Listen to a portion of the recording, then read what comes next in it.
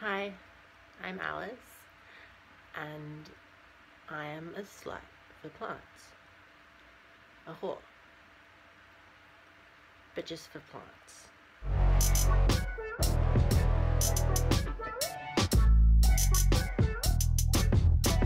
This is a video about how to care for Begonia brevirimosa exotica. Um,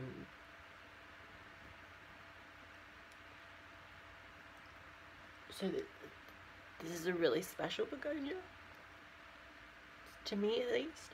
Uh, it's very pretty. Here's a photo of one.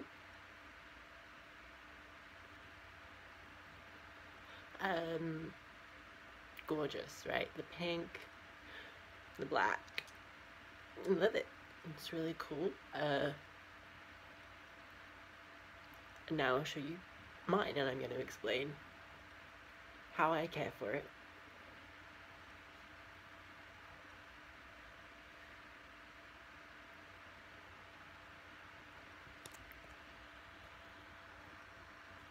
I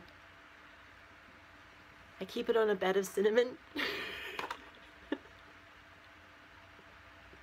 to ward away evil spirits.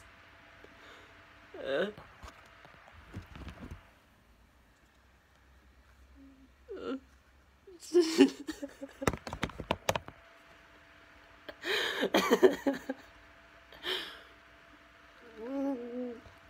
uh,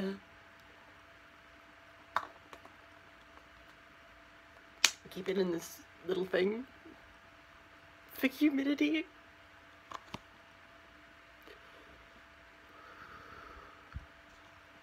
Um, if you go back and watch previous videos, I'm not sure if I unboxed, unboxed, um, the Begonia brevirimosa exotica, but you will have seen, well you haven't because nobody's watched the videos, but I got an order or two and I soaked them in some stuff which happened to maybe be colonized by a terrible bacteria which caused a terrible bacterial infection and killed my Rhaphidophora cryptantha, my Cissus discolor, and I also did it to my begonia, Brevirimosa exotica. Um, so those the other two died like quick, quick, quick. This guy, I just cut all his leaves off, and I was like, oh, that'll do it. It'll fix it. It'll be fine.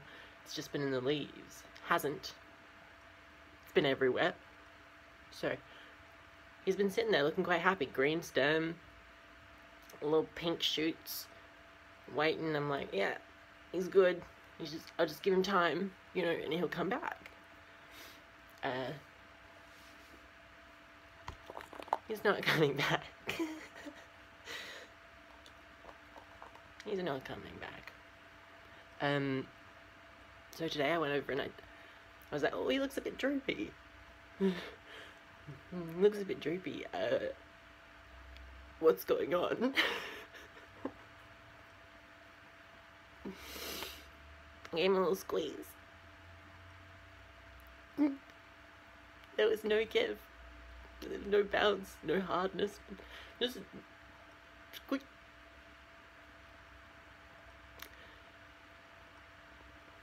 Yeah, squeeze him a little more because I was like, oh, that's weird. And just popped. Not funny. Oh, he was so pretty.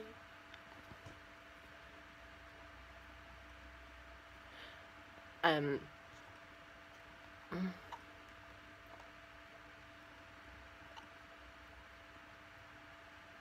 Um, so now, uh, mm, I don't know what the plan is. I don't know what the plan was there. I definitely had a plan, uh, but it sort of mixed into several plans. I was like, oh, I'll just cut up each of the healthy nodes. I'm sure that they are not healthy. They were just firm. Uh, still, you know, the three firm parts of the plant. So I was like, oh, those are healthy, I'll cut those. And then I was like, oh, I'll make it super sterile. I'll spray everything with bleach, uh, hydrogen peroxide, H2O2, um, and it'll be clean. Uh, I'll just make it really clean. and I'll just put it in a little Tupperware container for humidity. And then I was like, oh, you know what else is good to dry out the cuts and stuff? Cinnamon. So I put that in there, and it's also, you know, magic. Uh, so it'll ward away, ward, ward, is that a what, ward away? It will ward away evil spirits. Um, and also the plastic is good for keeping Satan out.